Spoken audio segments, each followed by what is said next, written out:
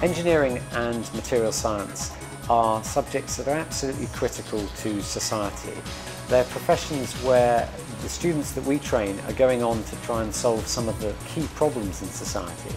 Problems such as climate change, such as the ageing population, implantable devices, robotics, transportation, space exploration, huge range of different problems that society faces and those require well-trained engineers and material scientists.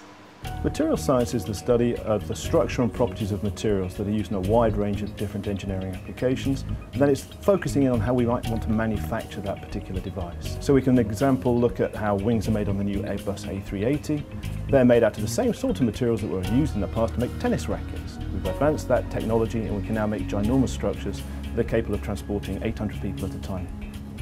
I think engineering as a subject is, is really important. It's a door opener and you can go on clearly and become a professional engineer. But there are opportunities more widely than that that mean you can go and do all sorts of jobs which are using the transferable skills that you develop in engineering. The National Student Survey is a, a common survey that's being applied across the whole of the UK.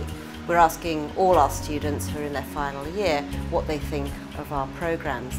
The students are, are telling us that they believe that the programmes that we offer are supportive, are giving them skills that will take them into employment and they enjoy them and we think that's a really positive outcome.